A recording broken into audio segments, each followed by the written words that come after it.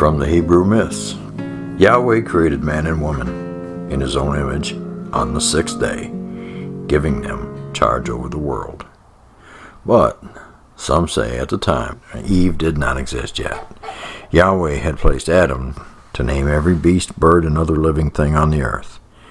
And when they had passed before him in pairs, male and female, Adam, being an adult male, felt jealous of their loves. And though he tried coupling with each female creature in return, found no satisfaction in the act. So he therefore cried, Every creature but I have a proper mate. And he asked that Yahweh would remedy this injustice.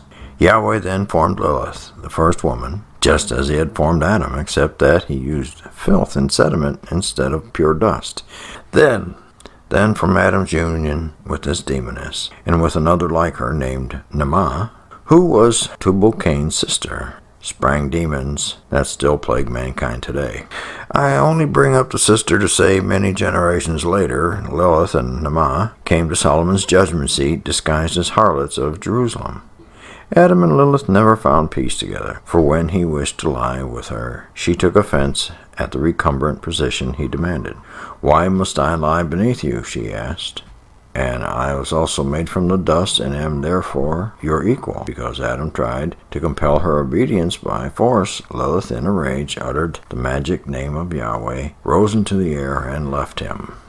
Adam complained, I have been deserted by my helpmate. At once angels were sent to fetch Lilith back, and they found her beside the Red Sea.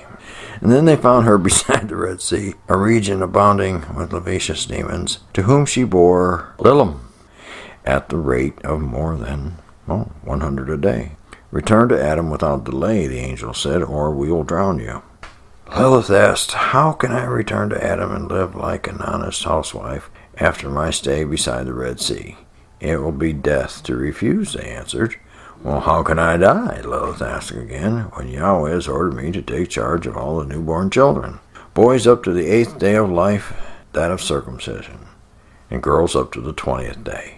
Nonetheless, if ever I see your three angels' names or likenesses displayed in an amulet above a newborn child, I promise to spare it.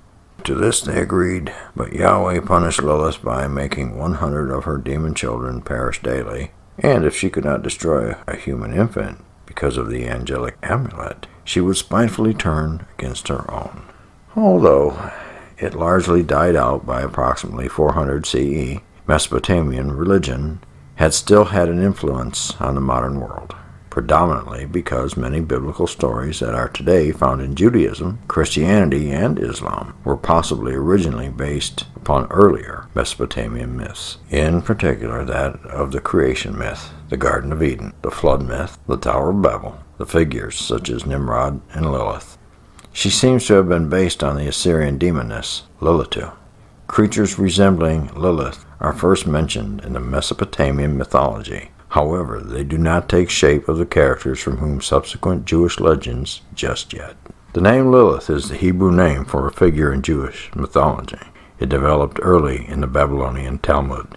The story is generally thought to be in part derived from a historically far earlier class of female demons in the Mesopotamian religion. They have been found in cuneiform texts of Sumer, Akkad, Assyria, and Babylonia. Goddess of the night, Adam's first wife, who, according to Jewish beliefs, was created together with him.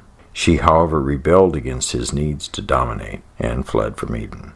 And the meaning of her name varies from night creature, night monster, demon, screech owl, lady air, wind, or spirit.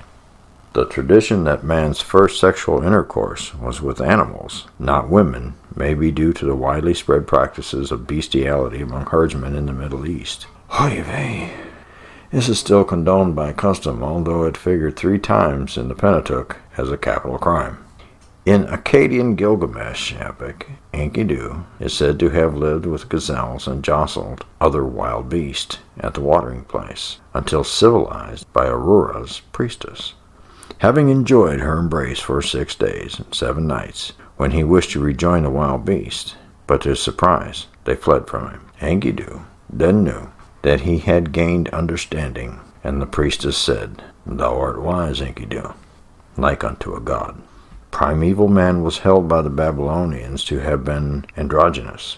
Thus, the Gilgamesh epic gives Enkidu androgynous features, the hair of his head like a woman's with locks that sprout like those from the grain goddess. The Hebrew tradition evidently derives from Greek sources because both terms used in Tannaitic Midrash is to describe the bisexual Adam are Greek androgynous man, woman, and or two-faced.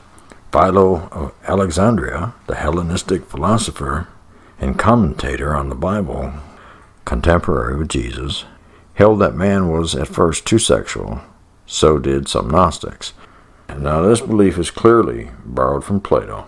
Yet the myth of two bodies placed back to back may well have been founded on observation of Siamese twins, which are sometimes joined in this awkward manner. Divergencies between the creation myths of Genesis allow Lilith to be presumed as Adam's first mate, result from a careless weaving together of an early Judean and late priestly tradition. The older version contains the rib incident. Lilith is usually derived from the Babylonian Assyrian word Lilitu, a female demon or wind spirit, one of a triad mentioned in Babylonian spells. But she appears earlier as Lillake on a 2000 BC Sumerian tablet from Ur, containing the tale of Gilgamesh and the willow tree. There she is a demoness, dwelling in the trunk of a willow tree, tended by the goddess Inanna, on the banks of the Euphrates. Popular Hebrew etymology seems to have derived Lilith from Lalel, night, and she therefore often appears as a hairy night monster, as she also does in Arabian folklore. Solomon suspected the Queen of Sheba as being Lilith. In the post biblical period, some ancient Jewish scholars took the stance that Genesis 1 and Genesis 2 must describe two separate events, since it appears that woman is created differently in these accounts. Considering every word of the Torah to be accurate and sacred, rabbis need a midrash or story to explain the disparity of the creation narratives of the two Genesis accounts. Okay, that sounds like homiletics. God creates woman twice, once with man and then another from man's rib. So there must be two different women. The Bible names the second woman Eve. Lilith was identified as the first in order to complete the story. Now, accordingly, Genesis 1 describes the creation of Adam and an unnamed woman, later called Lilith, than in Genesis 2, which gives more details of Adam's creation and also describes the creation of Eve from Adam. So there you have it now. That's how the rabbis explained it anyway. Sounds like Midrash to me.